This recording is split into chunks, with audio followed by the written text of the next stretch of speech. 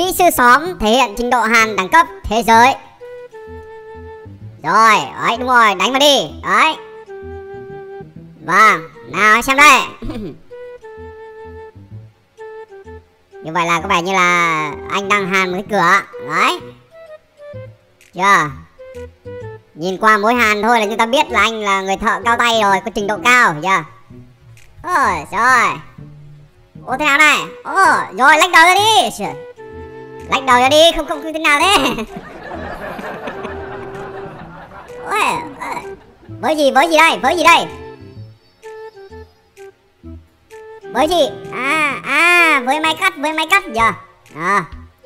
Ôi, không sao anh thử thôi xem là đầu người có chui qua đấy không nhá đấy hàn như thế này là chắc chắn là trộm nó không vào được. Ừ, đầu nó không qua được cho nên là nó không vào được.